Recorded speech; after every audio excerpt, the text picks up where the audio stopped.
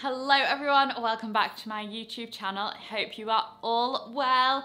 Today we have a dedicated video to skirts and jackets combined. So this is, well, this has springboarded off a recent reel I did that I posted last night and it has performed so well so far um, in, you know, since last night, it's now like 11 o'clock this morning, it's had about 600,000 views.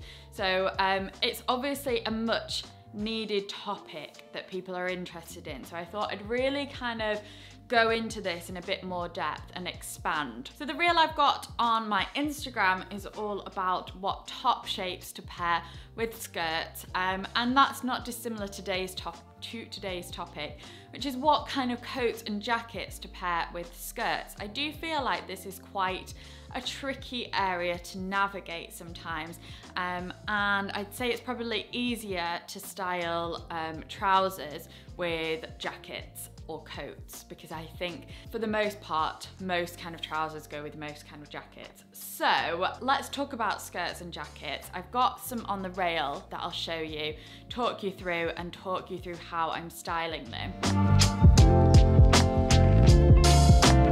So I've only got three shapes of skirts because I think um, these three can kind of cross barriers and boundaries to a few different styles and you can also apply this or these rules to dresses as well. So I've only got three like I mentioned because I think like this for example is a straightish mini skirt but I do think these rules could be applied to slightly wider shape mini skirt or like a skirt kind of thing.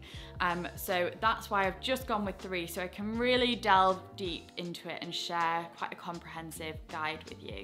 So as always, I want to make these uh, videos as useful as possible. And I think one way of doing that, or the main way of doing that, is by sharing kind of do's and don'ts. Um, or I'm gonna share the don'ts and then the do's of what jackets to pair. So for the purpose of the video, um, I'm going to be wearing a white t-shirt throughout for some continuity um, and just to show you um, kind of concentrate on the skirts really. So the first outfit I've got on is just a classic t-shirt, some simple strappy heels, and then you can kind of make this work for quite a few different occasions. If you were going out though, I would personally avoid, or in the daytime too, I would personally avoid a shorter jacket like the green one I'm wearing here. Um, it's a crop jacket and although I don't think there's anything wrong with this look, it doesn't look terrible, um, I just think the kind of cropped style with this skirt, it feels all a bit too short together. I'm gonna pop this back on the rail now. But yeah, I just feel like everything is too short, there's not much contrast to the look.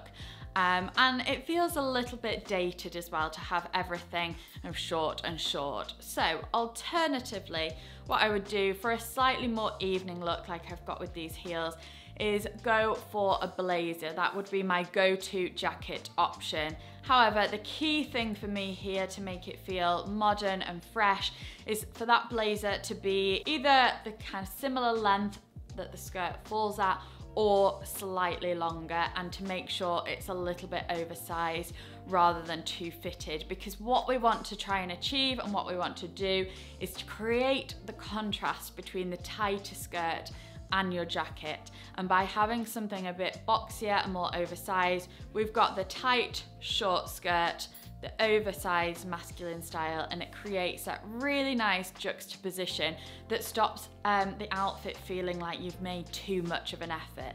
It relaxes that short style of skirt. Um, hopefully that makes sense and you can see side by side why the oversized blazer looks better than the cropped jacket. The same can very much be applied in the daytime too. You could definitely do this base outfit as more of a day look. I've paired it here with some loafers. You could go for sandals or ballet flats um, or even boots and tights um, and a knit if it's colder.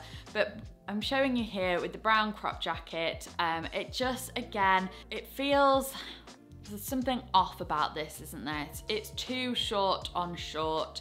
Um, again, there's not much contrast in it. Um, and I think it feels also a little bit top heavy because you've got all the um, fabric at the top and there's nothing of length to kind of balance it out like the blazer did. So instead what I would do in the daytime, you could go for the blazer again depending on your occasion, but I did want to show you an alternative. I think with a short skirt, you could actually go for a longer coat or a lightweight jacket. In this case, this trench coat, it's not lined or anything, it's very lightweight. So you could definitely wear this with bare legs, kind of a mild day. So what this does that the previous jacket doesn't um, is bring the fabric down a little bit to create some of that balance. It balances out the shoes a little bit more as well and again, I just think it feels a little bit more modern and fresh to have that oversized element contrasting against the skirt.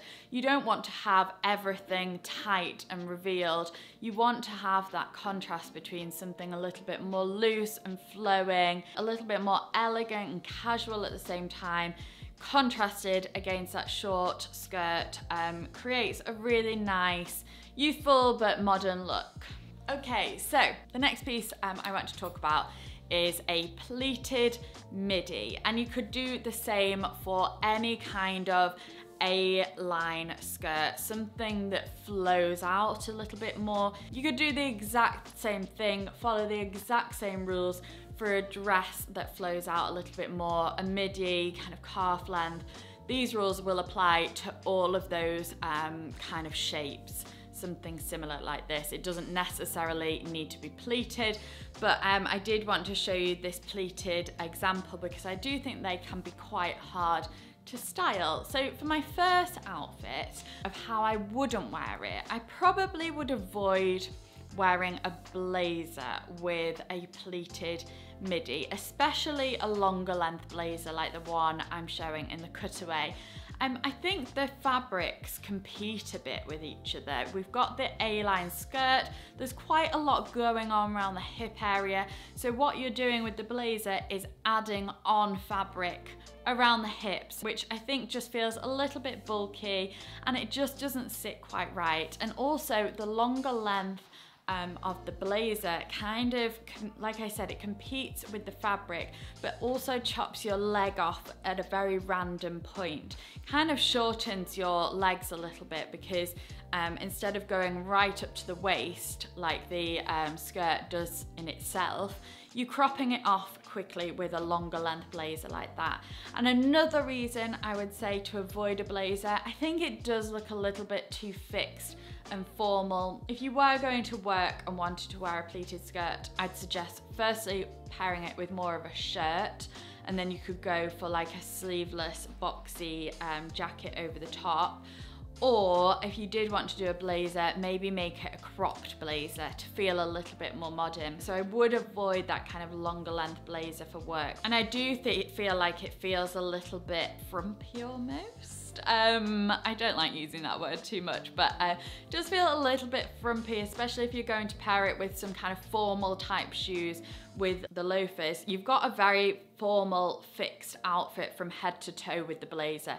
So what we want to do is kind of deconstruct that a little bit um, and make it feel a little bit more relaxed and less try hard. So what I would suggest pairing your pleated skirt with is more of a boxy jacket like the one I showed with the mini skirt. If you don't know what to pair that style of jacket with, a longer skirt suits this jacket really well because you've still got the length of the skirt and then the cropped um, just kind of shows off the waist area and creates a bit more of an hourglass silhouette, which in turn creates a bit more balance. And like I said about the blazer, it cropped you off a little bit and added a lot of bulk around the hips, sorry, around the thighs. Did I say hips before? Hips and thighs, I suppose. Um, it adds a lot of bulk around here. The cropped blazer takes away from that bulk um, and brings the fabric up. And also I think this kind of cropped boxy style is a nice contrast between the wider length of the skirt. So you've got the wide skirt at the bottom, then you've got the middle, and then you've got the boxy on top. Creates that nice balance again. Um, I've gone for trainers with this look. Again, just as a little side note in shoes, I wanted to create something because the skirt is quite a formal skirt. I did just want to break that down a little bit. And you could do the same, sandals would do that same thing as well if you're going more into summer. So those are the few kind of reasons I think a cropped boxy jacket works well with this pleated skirt. Alternatively, if you did want to go for more of a coat look with this, this is how I would do it. So personally, I would go for a smarter style of coat. I think a puffer style probably would work, but I think it maybe would be too much of a contrast between the smart skirt and the puffer coat. It might feel a little bit jarring. Um, so instead I would go for a smart coat, but what I would avoid is something like this first brown one that I'm showing you. So here it kind of falls above the length of the pleated skirt. So you've got that very awkward bit of fabric going on. So you've got the end of the coat, then you've got a chunk of pleated fabric, then you've got your ankle, then you've got the shoes, and all that in turn feels very unflattering. Again, feels a little bit frumpy, um, but also cuts your legs and makes them look shorter and just feels a little bit awkward, like I said. So that's one thing. Another thing is the belted coat. I think as soon as you belt the waist, again, adds all the fabric here um, and emphasizes this and just creates a feeling of off balance, off balanceness um, just creates that feeling of being off balance by having a lot of fabric that's bulked out here with the nipped in waist. So alternatively, the smart style of coat I would choose is something like this camel coat that falls around the same length as the pleated skirt. It doesn't have to be to the centimetre, but as long as you're kind of around that same area, it creates a nice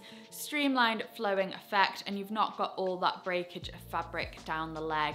Um, and again, this one is kind of a little bit looser. It's not really nipped in and fitted and that just really complements the style of the skirt nicely and doesn't add all the bulk that we've got. I think it's also nice to keep your coat open so you can see the flow of the skirt underneath. As soon as you fasten it up, I think we've got the same problem as the coat before um, in that it kind of adds a bit of bulk to the already pleated, slightly more bulky style of skirt. So yeah, those are the kind of styles of coats I would go for. With anything pleated, more flowing, dresses, pleated midi skirt, all of those rules can be applied to that. So finally, let's talk about our last skirt. Something a little bit more spring-like and summery is this mango skirt that needs zipping up and tying up. Um, but I got this last year and I wore it so much. Um, it was kind of like a hero buy, you know, one of those pieces that you're just so thankful that you ended up buying because it really works for so much. You can dress this down really casually, just t-shirt trainers, t-shirt sandals, or like a tank top even would look nice with this. Or you could dress this up I think it would look so nice in the evening with some great earrings strappy heels. Um, so it really is a versatile piece. I don't think it'll be around anymore but this style of skirt really does come in handy a straight denim midi skirt but Again, the rules that I'm sharing can be applied to all kinds of straight or pencil kind of skirts or dresses. So I do think I've kind of covered the spectrum of shapes in terms of skirts and dresses in this video. So this is much straighter than the pleated one I shared. So let's talk about styling this. Again, very much like the pleated skirt, I'd avoid anything that is oversized that's not the same length as the skirt. Anything like this blazer, I absolutely adore this blazer by the way, but I just wouldn't wear it with the skirt. So we've got a lot of fabric again that falls round the middle, an awkward length. It's neither here nor there. I think you either need something that falls around your waist or that falls around the hem. Um, it's one of those, just like the pleated skirt really, to have that fabric in the middle, cuts your body off, it just feels awkward. And again, this very oversized shape of this blazer doesn't really lend itself nicely to the pencil skirt. It feels a little bit lollipop-like almost because we've got so much fabric on the top and nothing really to balance it out at the bottom. So that's definitely what I would avoid it with. Instead, I wanted to return to the green cropped jacket that I wore um, in my first one with the short leather skirt. So if you are going for a longer skirt, my suggestion would be go for a shorter jacket and vice versa with what I showed you with the short skirt. So um, I've got this crop jacket on here. Again, it's nice because it just kind of falls around the waistline, the same area as the skirt. You can kind of see all the fabric of the skirt, which makes the outfit really elongating. So I would avoid anything kind of from hip length to maybe just below the knee. I'd avoid any length of coat or jacket around there. Um, I think there are very few occasions where you can kind of get away with that look. So the crop jacket is definitely something I think was most flattering with a pencil skirt shape. But I also just wanted to finish it off by saying like the pleated skirt or just showing like the pleated skirt, a coat that falls around the same length or a little bit longer than a pencil skirt also really works. So like I said, with a longer pencil, midi kind of skirt or dress, either go cropped or shortish or go for something um, a little bit longer. And I would also say, this is actually my final tip just to note about the short jackets with the longer skirt. Just notice that the short jackets aren't wide short jackets. They do come in um, a little bit around the waist, so not billowing out because as soon as you have something that billows out, it competes again with the fabric at the bottom and just makes it all feel a little bit triangular going out. So try and get something that goes in slightly more like the green jacket, like the um, brown leather jacket, something that doesn't kind of go completely, a jacket that's not like an A-line shape because it just won't work as well as something that kind of shows off and emphasizes the waist area a bit more. So I hope this guide has been useful. If it has, definitely let me know by giving it a thumbs up, but even better, leave me a comment um, and leave me a comment as well. What kind of pairings do you want to see next? Anything you'd like to see from me in terms of styling tips and breakdowns of things. As you know, my channel is very much focused on maximizing your wardrobe and really making the best um, of what you've got and just creating easy ways for you to get dressed. So hope it's been useful. Don't forget, hit the subscribe button if you haven't already, and I'll see you in my next video.